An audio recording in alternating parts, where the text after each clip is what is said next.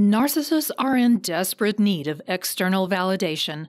They need other people to prop up their grandiose ideas they've imposed on the false self they constructed in lieu of a true sense of self.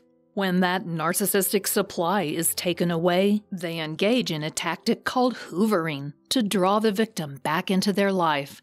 Watch this video to understand how a narcissist is able to draw their victims back into a cycle of emotional abuse if you ever want to escape. Let's get started.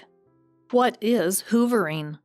Hoovering refers to the attempts that a narcissist will make to bring you back into their life following a period of distance between the two of you. Usually, the narcissist will wait for a while to see if you are really serious about trying to create that distance. When they see you are serious, that's when they turn on the hoover. The hoovering behavior frequently starts with a narcissist turning on the charm and telling you how much they love and miss you. They will often try to remind you that the two of you had a wonderful relationship.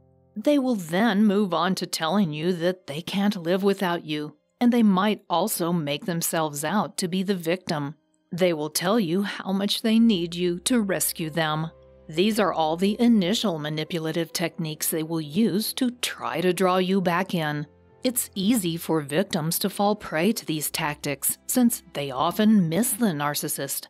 They may have felt that the narcissist was their soulmate in the early stages of their relationship.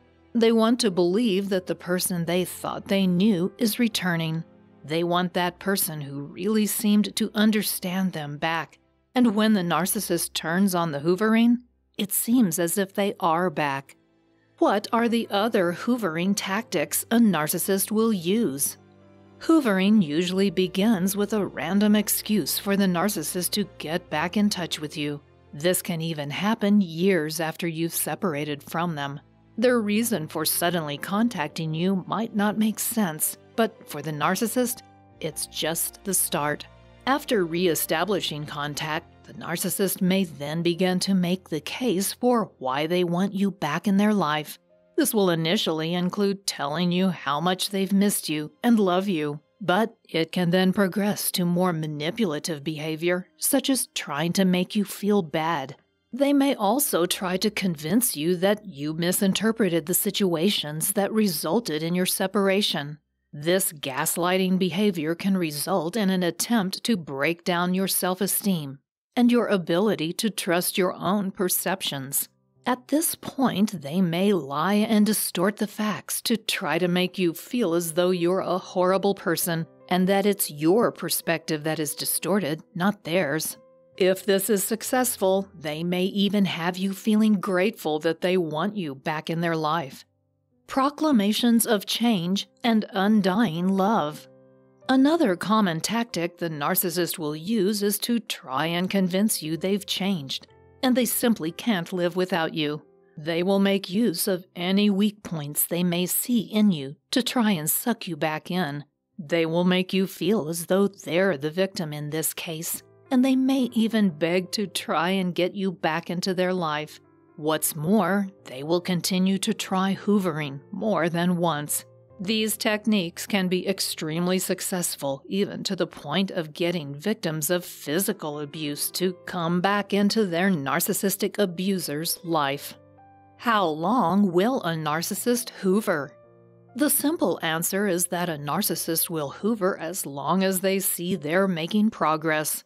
For them, progress may simply mean that they are disrupting your life. If they see that you're emotionally distraught, that may be enough for them. Being able to swoop back into your life gives the narcissist a sense of power, and that encourages them to continue. Essentially, the hoovering behavior will go on as long as you allow them to affect you.